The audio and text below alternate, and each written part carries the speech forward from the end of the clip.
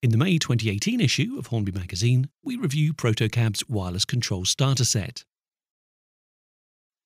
Offering an alternative control system to normal analog or digital operations, the starter set comes with all you need to get you up and running to convert and operate a single locomotive, including hand controller, circuitry, cables, and rechargeable battery.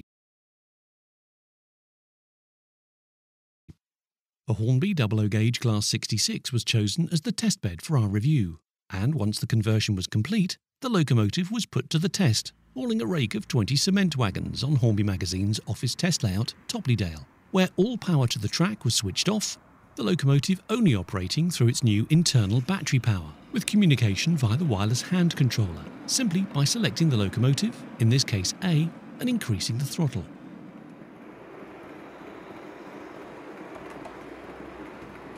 Up to nine locomotives can be operated on the supplied controller with selectable direction of travel and controllable rotary speed dial.